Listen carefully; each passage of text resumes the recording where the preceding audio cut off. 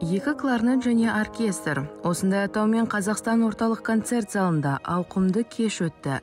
Қазақ мемлекеттік симфониялық оркестрі ұйымдастырған классикалық музыка кеші елорда тұрғындары мен қала қонақтарына ерекше көңіл күй сыйлады. Ұжым маэстро айдар торыбаевтың жетекшілігімен өнер көрсетті. Концерт италиялық кларнетшілер рафаэль мен никола бертолинидің қатысуымен өтті.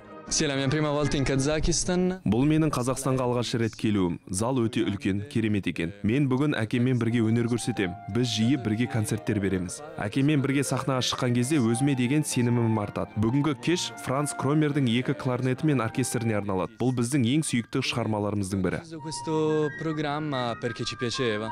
Никола бертолини верди атындағы милан музыкалық консерваториясында. Лаура магистрели ханымнан кларнет ойнауды үйренеді. Жас болса да ол көптеген халықаралық байқаулардың жеңімпазы. Оның әкесі әлемнің түкпір түкпірінде өнер көрсеткен атақты кларнетші рафаэль бертолини. Өкіл әкеден бір күні америкада фильміне дейін кинофильмдердің әйгілі саундтректері астана опера сахнасында ұсынылды. Музыканттар көрнекті композиторлар эннио марикони мен нино ротаның шығармаларынан концерттік бағдарлама әзірледі.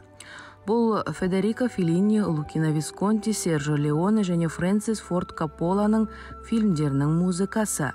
Әлемге танымал флейташы андреа гриминелли кештің жарық жұлдызы болды. Мен тағы да қазақстанға келіп астана операда өнер көрсеткеніме өте қуаныштымын. Бұл қарасаң көзің тоймайтын керемет ғимарат. Мен бірнеше жыл бұрын осы сахнада өнер көрсеткенмін. Менің ойымша бүгінгі концерттік бағдарлама итальяндық классикалық музыканың дәстүрлерін көрсетеді. Бірнеше жыл бұрын аяқ астынан энио мариконимен бірге шығарма жаздық. Мен бұл музыканы оның құрметіне арнадым. Мен сондай ақ нино ротаның музыкасын жарыққа шығардым. Қазір бұл жазба сатылымда.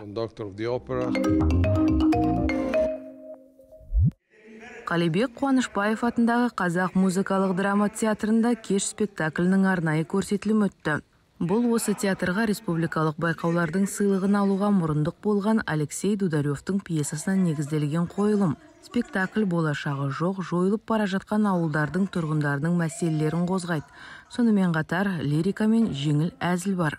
Спектакльдегі басты рөлдерді танымал актерлер ақыш омар рымкеш омарханова және мейрам қасенов сомдайды. Биылғы жылы 13 жыл болады бұл спектакльге 2009 жылы қойды.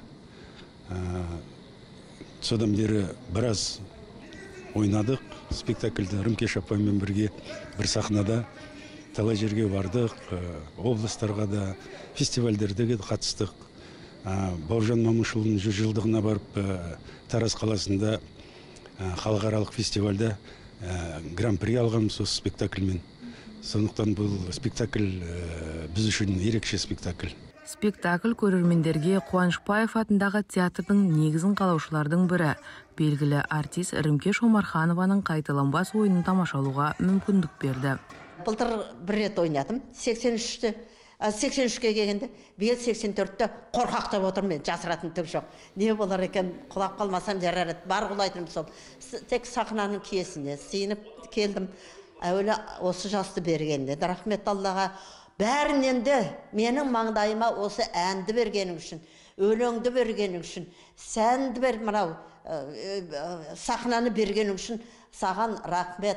Актриса өнер жолында талай қиындықты басынан өткерді. Ірімкеш омарханова 1939 жылы қарқаралы қаласында дүниеге келген. Тәттімбет атындағы қарағанды музыкалық училищесінің театр факультетін бітірген. Ұзақ жылдар бойы қарағандыда сәкен сейфуллин атындағы облыстық театрда қызмет етеді.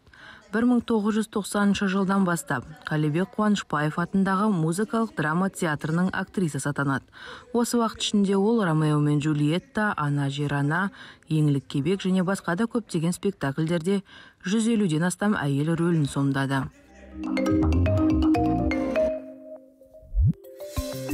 Ал қазір біз сіздерге жақын күндер өтетін іс шаралар туралы айтып береміз. 14 желтоқсан күні құсайынов атындағы облыстық музыкалық драма театрында алдаспан қойылым өтеді. 14 желтоқсанда ілияс омаров атындағы театрда алжир спектаклін көре аласыздар. 14 желтоқсанда жамбыл атындағы филармонияда жаңа жылдық ертегі концерттік бағдарламасы өтеді.